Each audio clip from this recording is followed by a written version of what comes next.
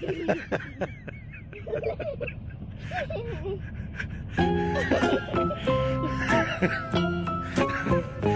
was trying to take a nice video, but